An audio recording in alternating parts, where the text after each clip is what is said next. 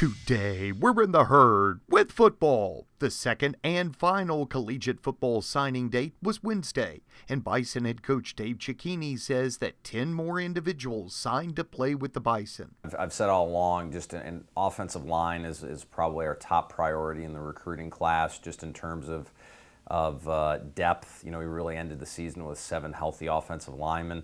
Uh, and uh, so we just need to add to our, our depth there. And, and uh, we were thrilled uh, with a couple of the guys that we got in the first signing date, and uh, we're even more excited uh, here with signing day number two. He says they also added some wide receivers, defensive backs, and defensive linemen in this group, but it was more about overall numbers. Really, the key for us coming out of the recruiting class is to become more of a balanced team in, in terms of our numbers at each position.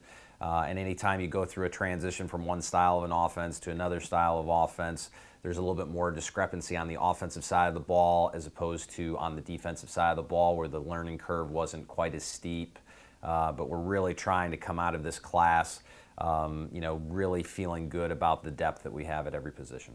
Coach Cecchini says that one of the biggest goals with this entire class was to extend the school's geographic recruiting reach. Getting kids from um, you know, faraway places such as California and, and uh, Phoenix, Arizona, uh, down in Florida, a number of players uh, joining our program, and, and uh, North Carolina, uh, places that normally haven't been a hotbed uh, of recruiting. And I think we are really successful with that. I think we've got 12 states represented so far. We're not quite done yet. We still have a couple more spots that we'll just kind of wait till the dust settles after the signing day. Bucknell opens the 2020 campaign at West Point, New York against the United States Military Academy.